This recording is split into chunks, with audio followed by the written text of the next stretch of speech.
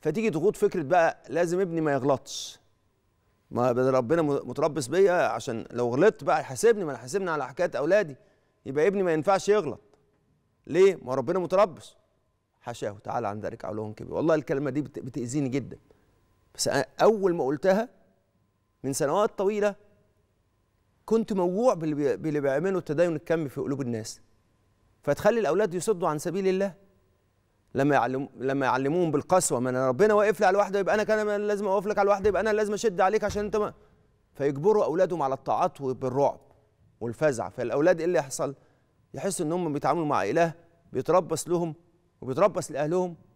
فأي غلطة هتكون مصيرها إن أنا ضعت خلاص. فيفضل مرعوب من الله. رقم أربعة الأخطاء بقى اللي بيقع فيها الآباء بقى لما يتبنوا فكرة إن هم إن هم هيتحاسبوا عن كل اللي بيعملوه أولاده. إيه هي؟ يفضل يقارن ما بينه وبين أولاده لغاية ما الولد يستبيع. وعشان كده الآباء بيدوروا على إيه؟ على طريقة تخلي أولادهم ملتزمين بمفهومهم هم. فيستخدموا مقارنة. ويظن إن المقارنة دي هتعمل إيه؟ هتدفع أولادهم إن هم يلتزموا ويبقوا ناس كويسين.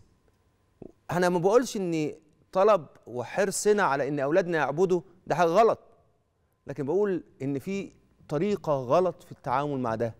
فيحسسوا أولادهم بقى إن إيه اللي حاصل؟ لازم يكونوا حريصين.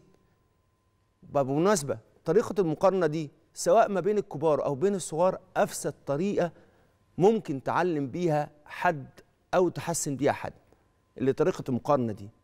طريقة المقارنة في العبادات والمعاملات مع الله طريقة طريقة بقى إيه؟ شوف ابن عمك متدين إزاي وبيحافظ على الصلاة في الجامع مش زيك. يا أخي يا أخي استحي على دمك. ما, ما, ما بتكسفش على نفسك لما تشوف ابن عمك وهو كده راجل.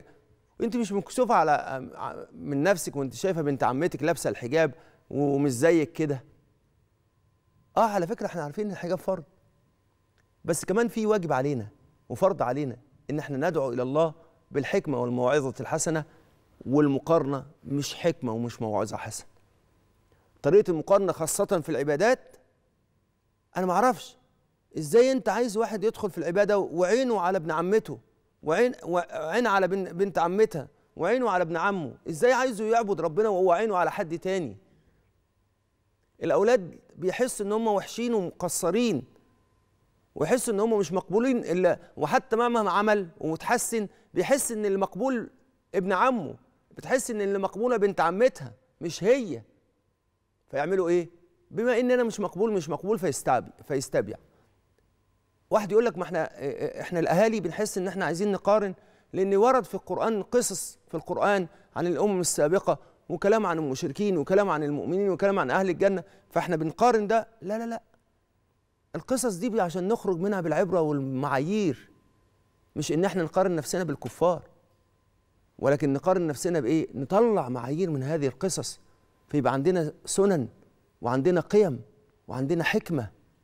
وعشان كده حضرة النبي صلى الله عليه وسلم علمنا قيمة مركزية ندخل بيها على الحياة ونعيش بيها مع أولادنا وهي قيمة الرعاية. لما قال صلى الله عليه وسلم كلكم راع وكلكم مسؤول عن رعيته.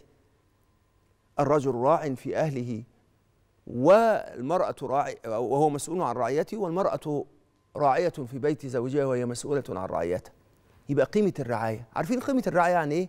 قيمة الرعاية يعني أربع حاجات. الرعاية يعني يعني إيه؟ حرص. يعني الرعاية يعني تركيز. الرعاية يعني إتاحة. الرعاية يعني أتيح له. الرعاية يعني مساندة. الرعاية يعني تأمين. هي ده معنى الرعاية.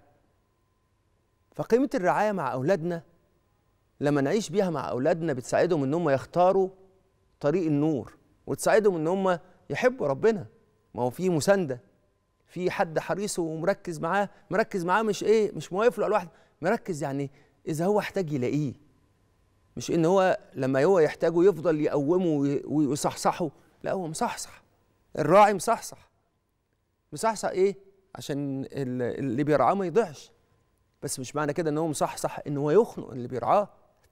تخيل واحد بيرعى حد فموته من كتر الرعاية. بنعمل كده مع أولادنا بنخرقهم. فبيبقوا عايزين يتنفسوا. لا الرعاية إن أنت تسنده الرعاية إن أنت إيه؟ تأمنه الرعاية إن أنت تحن عليه. هي دي الرعاية. فيس... فلما تساعدهم يحبوا ربنا ويعيشوا بالأخلاق. يحسوا إن الأخلاق سهلة. يحس إن الأخلاق سهلة. ما أنا عندي والدي بيساعدني. وعشان كده حضرة النبي صلى الله عليه وسلم علمنا ده. ففي خماسية للرعاية الأخلاقية والدينية ممكن نعيشها مع أولادنا. ودي اللي تعتبر الإجراءات اللي هنحاول نجربها مع بعض في في حلقتنا النهارده.